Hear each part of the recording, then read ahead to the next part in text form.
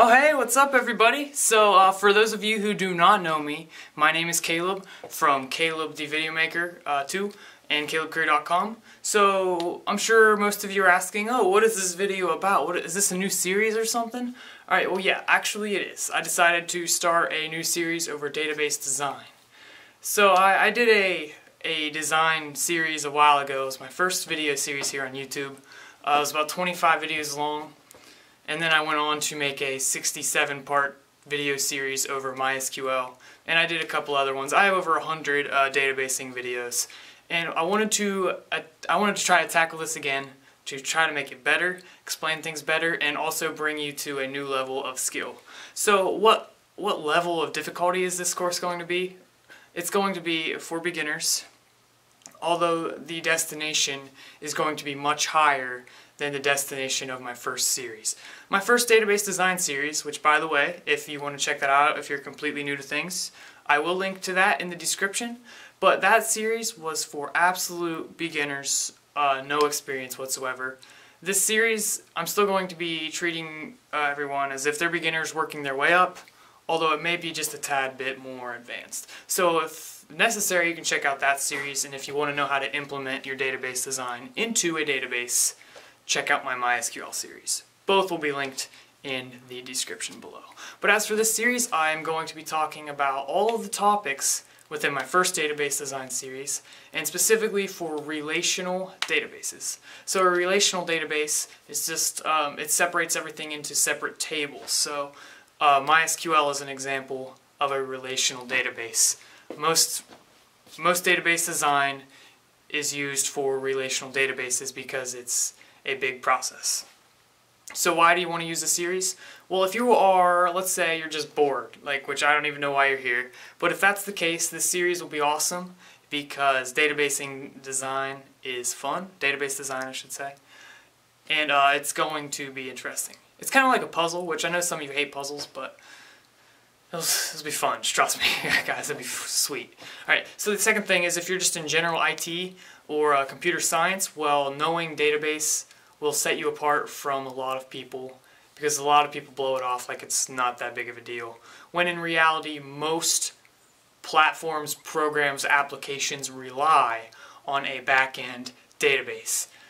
That's how we store information in this world. Everything we do is powered by a database. So it's important that you know how to properly implement database concepts, designs, to know how to properly structure data so that way you get the best optimized database. That will set you apart from the rest of the IT team or the rest of your classmates.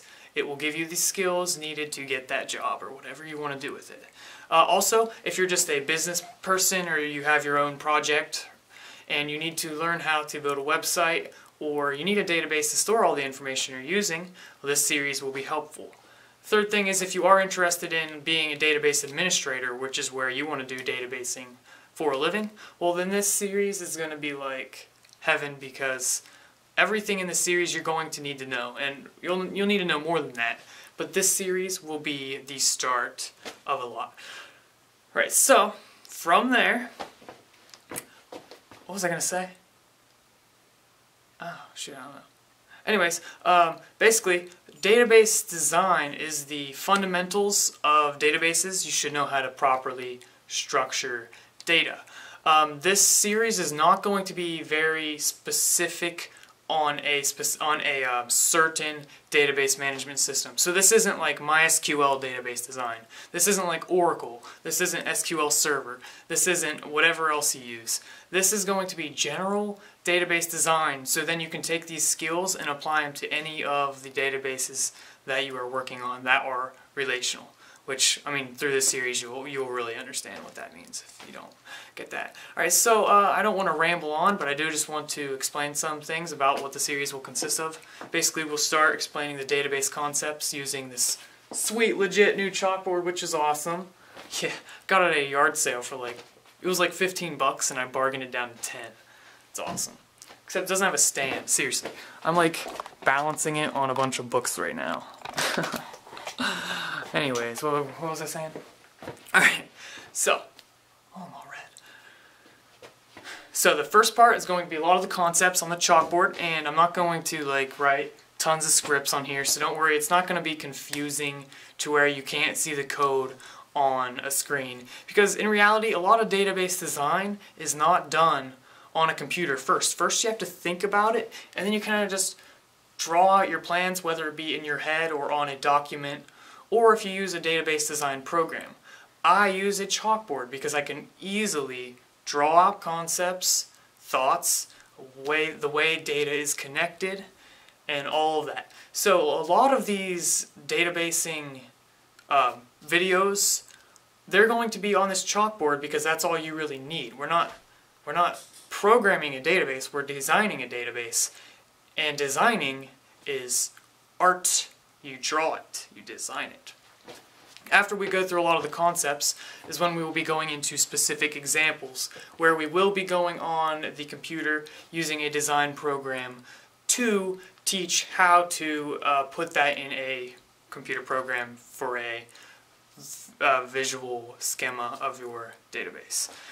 So I'm not sure what program we'll use, maybe MySQL Workbench, but whatever it is, a lot of the programs will be universal no matter what um, relational database management system you use. So a lot of the concepts from this video will be useful no matter what uh, you will be using for your database. So not only will you get the concepts out here on this chalkboard, but you will get real uh, practical use of programs on the computer where you will get your training. So we have education, computer training. Um, basically the whole series where we're on the chalkboard, you can kind of just watch whichever video you need if necessary. I do recommend you watch all the way from the beginning to the end, but if you just need to know about like primary keys or uh, candidate keys or whatever it is, you can just check out that video.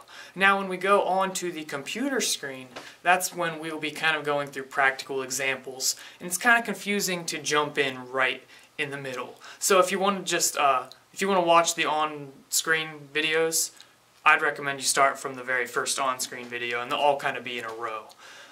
So yeah, uh, this series compared to the last will have more content, uh, better content, more in-depth content, better explained content.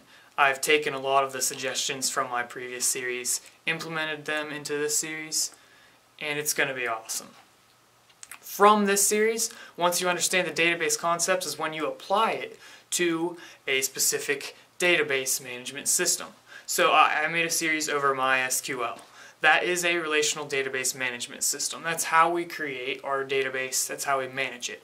Well, a lot of the design concepts I apply to that, and then when I program with MySQL, I understand what I'm doing. It's a lot better.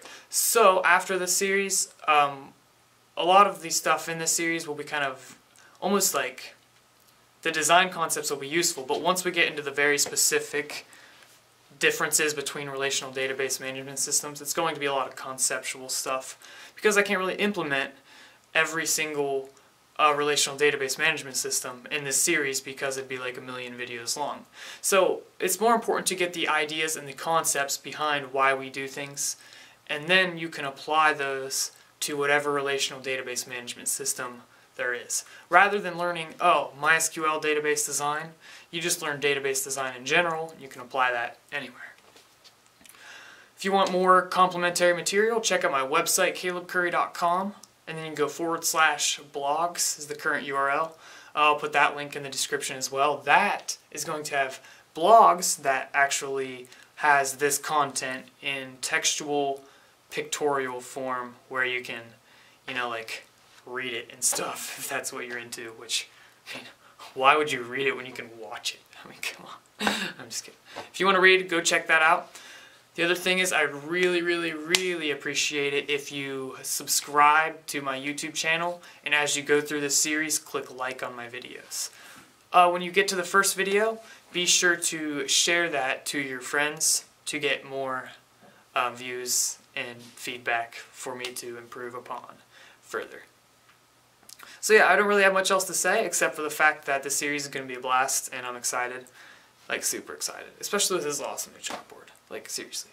It's awesome. Alright, so yeah. Starting in video one, I'm not going to be explaining a whole bunch of the background crap. That's why I just made this introduction video. That way, those of you who care can watch, and those of you who don't care, don't have to watch. So video one, we're just going to kind of jump right into things. And from there, uh, I was just going to try and keep it simple, stupid, and make things easy to understand. And I'm going to try to make things as correct as possible. Uh, if you have any questions, just leave a comment on the video. If you have any suggestions, leave a comment on the video. And if you like the video, click like and subscribe. That's all that I ask of you, and um, share it with your friends. So yeah, thanks once again. It's Caleb. That's my name. So for future reference, I'm probably going to say that in every single video because, I don't know, it's kind of habit now. Hey, what's up? It's Caleb. Alright, so yeah, I will see you guys in the next video. Peace. Yeah.